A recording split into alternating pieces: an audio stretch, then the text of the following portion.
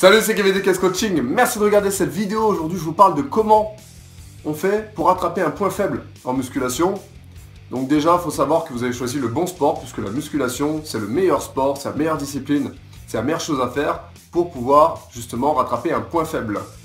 Euh, on parle d'un point faible au niveau de la force, mais aussi au point de vue esthétique. Et aussi au niveau de la souplesse d'ailleurs. Euh, donc la musculation, ça sert à quoi En premier lieu, on appelle ça une musculation compensatrice ou une musculation fonctionnelle. Peut-être que vous avez déjà entendu ces termes-là.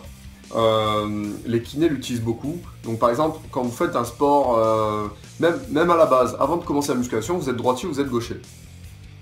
Le truc, c'est que vous avez un bras, par exemple, je prends l'exemple des bras. Vous avez un bras qui est plus fort que l'autre. Forcément, puisque vous servez plus que de votre bras droit si vous êtes droitier, votre bras gauche si vous êtes gaucher.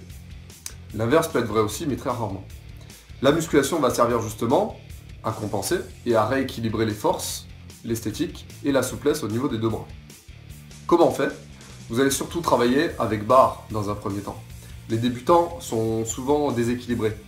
Donc euh, je leur préconise de travailler sur des mouvements polyarticulaires, des exercices polyarticulaires avec barre, en chaîne fermée on appelle ça. Pourquoi?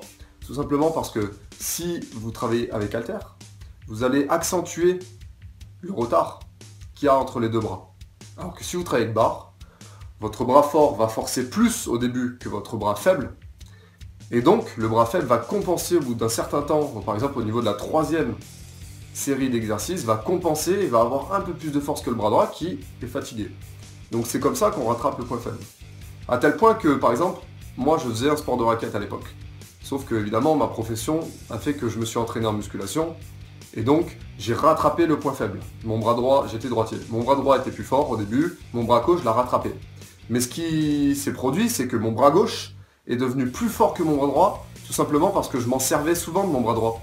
Je continuais à m'en servir toute la journée, et en fait, mon bras gauche faisait que de la musculation, parce que je m'en servais moins la journée. Donc il récupérait mieux, il était beaucoup plus fort, et est devenu beaucoup plus puissant. Par exemple, au niveau du développé couché, bah, j'avais plus de force à gauche qu'au bras droit.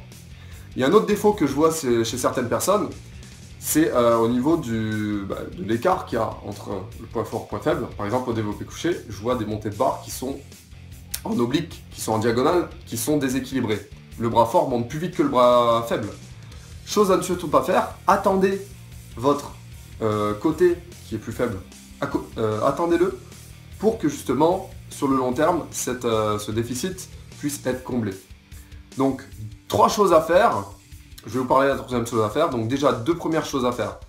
Euh, mettre lourd sur la barre. Pourquoi? Parce qu'en travaillant la force, vous allez renforcer aussi les muscles profonds périarticulaires, c'est les muscles au pourtour des articulations.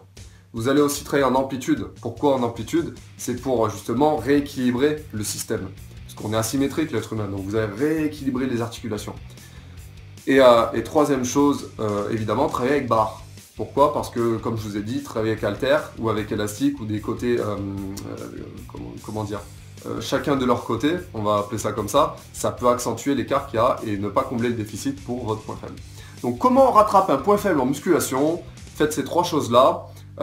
N'hésitez pas justement à vous étirer aussi pour, que ça fasse du bien, que vous puissiez récupérer, vous gagner en amplitude, parce que qui dit gagner en amplitude dit aussi compenser et rattraper le point faible. Likez-moi cette vidéo si vous avez aimé justement euh, ces explications dans cette vidéo. Laissez-moi un commentaire si peut-être que j'ai peut-être oublié quelque chose ou une question, une suggestion que vous avez. Abonnez-vous à ma chaîne YouTube en cliquant sur le lien qui est à la fin de cette vidéo. Et moi je vous retrouve dès lundi. Passez de bonnes fêtes, un joyeux Noël et restez au top. Ciao ciao